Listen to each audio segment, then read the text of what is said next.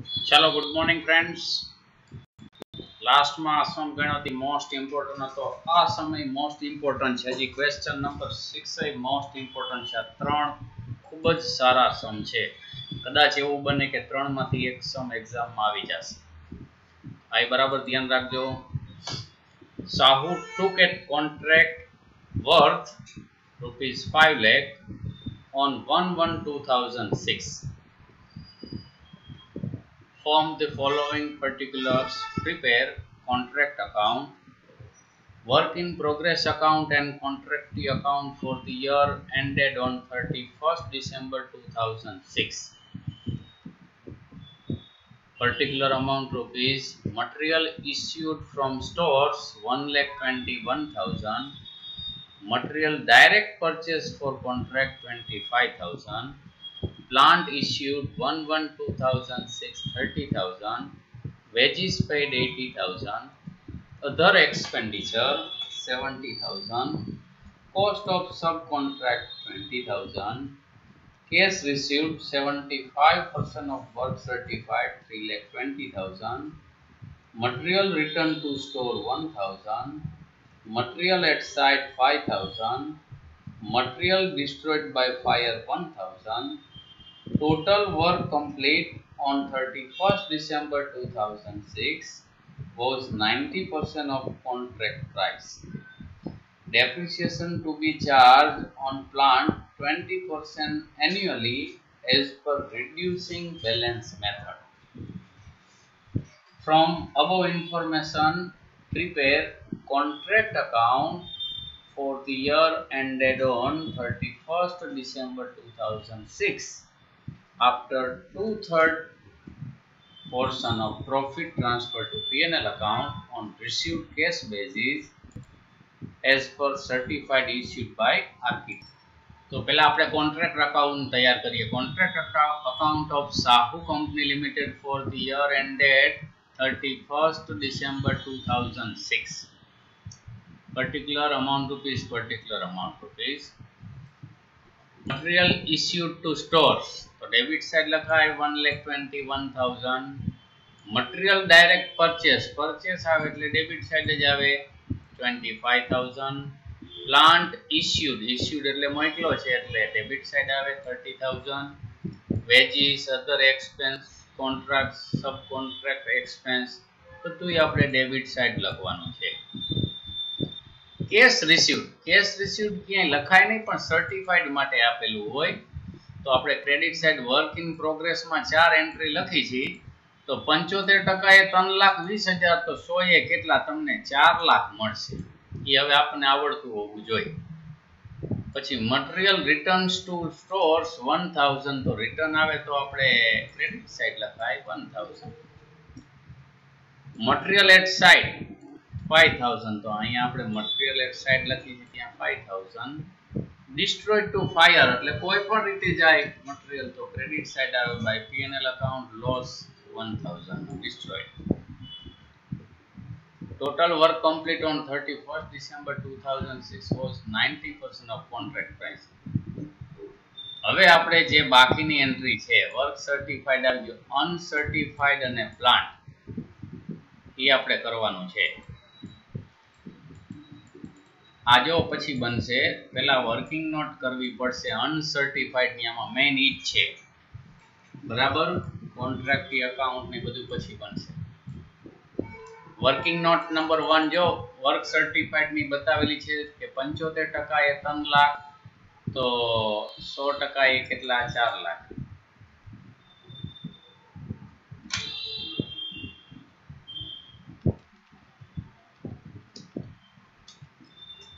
ત્રણ લાખ છે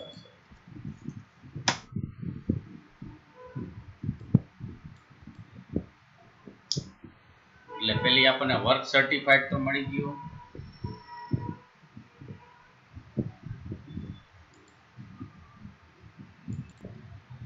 પછી પ્લાન્ટ ઓપનિંગ આપણને વેલ્યુ થર્ટી થાઉઝન્ડ આપેલી છે. ડેપ્રિસિએશન ટ્વેન્ટી પર્સન્ટ કીધો છે. સિક્સ થાઉઝન્ડ તો ક્લોઝિંગ કેટલા મળ્યા આપણને? ટ્વેન્ટી ફોર થાઉઝન્ડ નાખવાના, જો. કોન્ટ્રાક્ટ અકાઉન્ટમાં plant at site twenty four thousand હવે એક એન્ટ્રી ઘટે છે વર્ક અનસર્ટિફાઈડ પણ આની વર્કિંગ નોટ બહુ જ મોટી આવશે જોજો ખાસ એ જ વર્કિંગ નોટ માટે આ દાખલો લીધો છે. કોસ્ટ ઓફ વર્ક અનસર્ટિફાઈડ હવે ટોટલ વર્ક કમ્પ્લીટ થયું છે એકત્રીસ બાર બે હજાર છ એ. કેટલું તો કે પાંચ લાખના નેવ ટકા. એટલે ચાર લાખ પચાસ હજાર. હવે જો અહીંયા આપણને કીધું છે કે કોન્ટ્રાક્ટ કેટલાનો છે, તો કે ફાઈવ લેખ કમ્પ્લીટ કેટલું થયું ભાઈ? નેવ ટકા. એટલે કે ચાર લાખ પચાસ હજાર આપણે લખ્યા.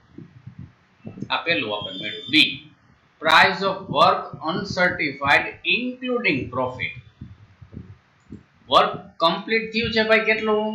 ચાર લાખ પચાસ હજારનું. અહીં ઉપર આપણને મળ્યું ને? ચાર લાખ પચાસ હજારનું. વર્ક કમ્પ્લીટ બરાબર શું કહેવાય? તો કે work certified plus work uncertified complete થઈ ગયું છે, એનું સર્ટિફિકેટ મળી ગયું છે અને કમ્પ્લીટ હજી નથી થયું, એનું સર્ટિફિકેટ મળ્યું નથી. બાકી તો કમ્પ્લીટ હજી થવાની એટલી બાકી છે.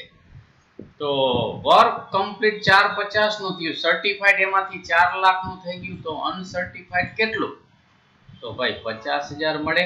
કારણ કે ચાર લાખ ને આ બાજુ લઈ જાઓ માઇનસ થઈ જાય તો વર્ક અનસર્ટિફાઈડ પચાસ હજાર મળ્યું, પણ ઇન્ક્લુડિંગ પ્રોફિટ આપણે પ્રોફિટ એમાંથી બહાર કાઢવો પડે. તો બીજું શું કરવાનું ભાઈ? Calculation of cost work uncertified આપણે એની કોસ્ટ ફાઇન્ડ આઉટ કરવાની છે. તો total of debit side of contract account contract account no debit side નો તમે ટોટલ કરશો ને તો ત્રણ લાખ છેતાલીસ હજાર થશે. અને ક્રેડિટ સાઇડ નો ટોટલ કરશો ને, એમાં વર્ક સર્ટિફાઈડ નહીં લેવાનું ભાઈ, જોઈ લ્યો આપણે આપણે જોઈ લઈશું, ચાલો.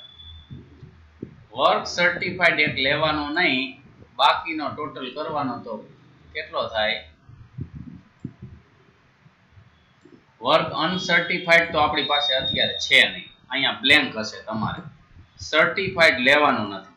તો ચોવીસ ને પાંચ, ઓગણત્રીસ ઓગણત્રીસ ને બે.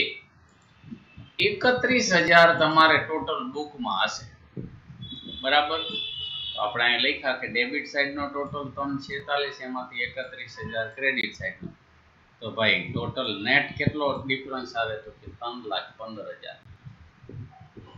હવે ટોટલ વર્ક કમ્પ્લીટ થયું હોય ચાર લાખ પચાસ હજાર. ચાર લાખ પચાસ હજારમાં નેટ આપણને કેટલું મળ્યું? ત્રણ લાખ પંદર હજાર.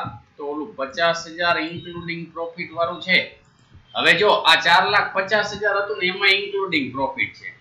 એમાંથી પ્રોફિટ કાઢી નાખ્યો તો કોસ્ટ કેટલી મળી? ત્રણ પંદર. તો પચાસ હજાર કેટલા? તો ત્રણ લાખ પંદર હજાર ગુણ્યા પચાસ ભાગ્યા ચાર પચાસ.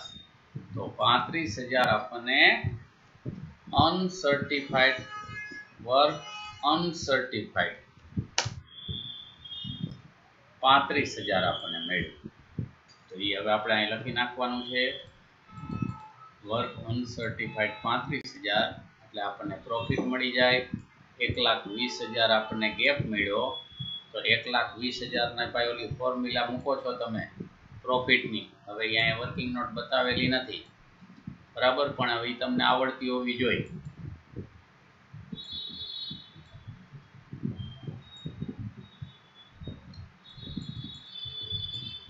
નેટ પ્રોફિટ ગુણ્યા બે તૃતીયાંશ, એક લાખ વીસ હજાર ગુણ્યા બે ભાંગ્યા ત્રણ, ગુણ્યા કેશ રિસીવ કેશ રિસીવ ભાઈ આપ્યા છે ત્રણ લાખ, ભાંગ્યા વર્ક સર્ટિફાઈડ ચાર લાખ. એટલે સાઠ હજાર તમને મળશે, બાકીના સાઠ હજાર વર્ક ઇન પ્રોગ્રેસમાં જાય.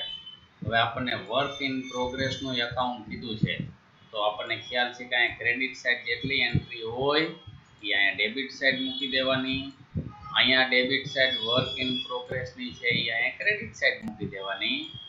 એટલે જે ગેપ આવી બેલેન્સ કેરી ફોરવર્ડ ચાર લાખ ચાર હજાર. ક્રેડિટ સાઇડ જ્યાં વર્ક ઇન પ્રોગ્રેસ લખ્યું હોય એ વર્ક ઇન પ્રોગ્રેસ અકાઉન્ટમાં એન્ટ્રી જાય. અહીંયા આપણે કોન્ટ્રાક્ટ અકાઉન્ટમાં ક્રેડિટ સાઇડ લખેલું છે, ચાર એન્ટ્રી અહીંયા ડેબિટ સાઇડ લખી નાખવાની કોપી પેસ્ટ પ્રોફિટ છે એ ડેબિટ સાઇડ લખેલો છે, અહીંયા આપણે કોપી પેસ્ટ ક્રેડિટ સાઇડ લખી નાખવાનો છે. એટલે વર્ક ઇન પ્રોગ્રેસ અકાઉન્ટમાં જે આપણને ગેપ મળે, એ બેલેન્સ કેરી ફોરવર્ડ કહેવાય. બીજું આપણને કોન્ટ્રાક્ટી અકાઉન્ટ કીધું છે. તો એ આપણને ખબર છે કે આ વર્ષ દરમિયાન કેટલા રૂપિયા મળ્યા છે? થ્રી લેખ તો એટલી બેલેન્સ કેરી ફોરવર્ડ કરી નાખવાની થ્રી લેખ અહીંયા તો આ દાખલો, આવો દાખલો પૂછાવાની શક્યતા વધારે. હજી એક વખત ઓલી વર્કિંગ નોટ મેન જે અનસર્ટિફાઈડ છે એ વ્યવસ્થિત સમજાવી દઉં છું. જોઈ લેજો, કદાચ વળી ધ્યાનમાં ન આવ્યું હોય તો. પહેલું જ તમારે કામ કરવાનું છે કે વર્ક કમ્પ્લીટ કેટલું? તો કે 5 લાખનો કોન્ટ્રાક્ટ છે કંપનીનો. અને 90% વર્ક કમ્પ્લીટ થઈ ગયું છે. 31 12 2006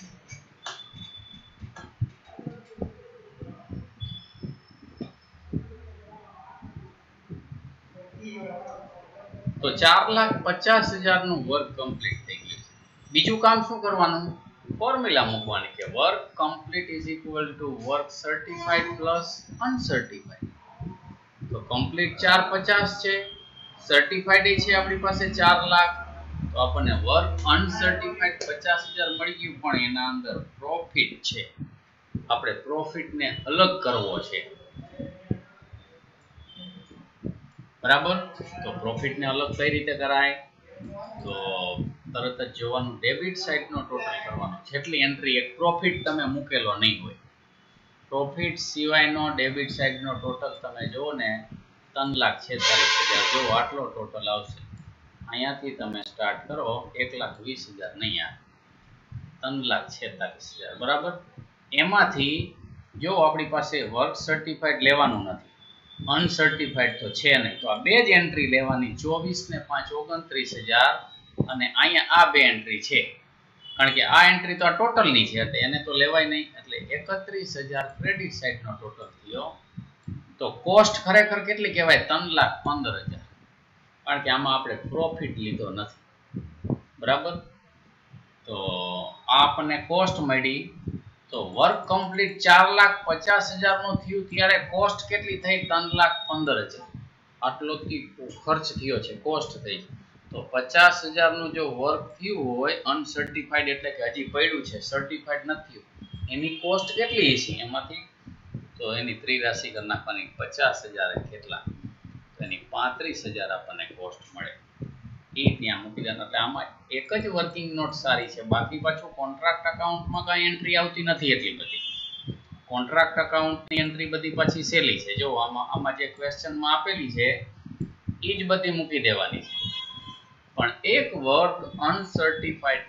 નોટ વ્યવસ્થિત છે. હજી એક સમ સારો છે. બે વર્ષની ડિટેલ્સ આપેલી હોય ત્યારે કઈ રીતે કોન્ટ્રાક્ટ અકાઉન્ટમાં એની ઇફેક્ટ મૂકવાની કોન્ટ્રાક્ટી અકાઉન્ટ કઈ રીતે તૈયાર કરવા, એ હજી એક સમ સારો છે. એટલે આ ત્રણમાંથી એક સમ તો આવી જવો જોઈએ અને શક્ય હોય તો બે બે આવી જાય, કારણ કે બહુ સારા સમ છે. સારું, ચાલો okay thank you very much